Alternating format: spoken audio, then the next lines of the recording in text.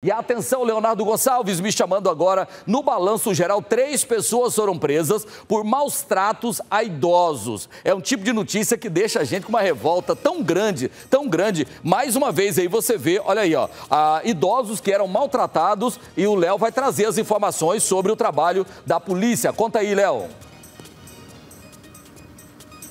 Foi uma operação que aconteceu hoje de manhã e foi deflagrada então pela Delegacia Especial no atendimento ao idoso de Anápolis. O, Loares, as imagens que a polícia conseguiu é, no local então desses cumprimentos, as imagens são impressionantes, de total abandono, de desnutrição, idosos machucados, inclusive teve idoso que foi preciso ser encaminhado para um hospital com escaras, é, muito machucados, desnutridos. Ao todo, então, foram cumpridos alguns mandados, então, é, para, de, é, por causa de denúncias crimes. Né? A polícia só chega a ter esses locais depois de denúncias.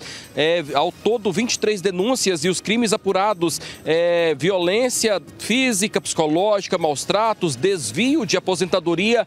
Três pessoas foram presas. Uma mulher de 37 anos, ela foi presa então por agressão física e psicológica contra a própria mãe uma idosa de 81 anos. Um jovem de 22 foi preso também por apropriar da aposentadoria do avô de 88 anos. Além disso, um outro homem de 27, ele foi preso porque ele estaria então, ele teria pego a casa da avó dele, é uma idosa de 84 anos, ele apropriou do imóvel da avó, da avó para morar. Ao todo, então, foram cumpridos então esses, essas buscas na cidade de Anápolis, nos distritos aqui da cidade também. 18 denúncias desses crimes foram comprovadas. A polícia, inclusive, teve que levar alguns idosos para abrigos aqui da cidade. Portanto, essa operação visa aí é, cuidar dos idosos e proteger tanto da violência física quanto psicológica. É, inclusive, a gente vê nessa situação que é tão triste, Lores,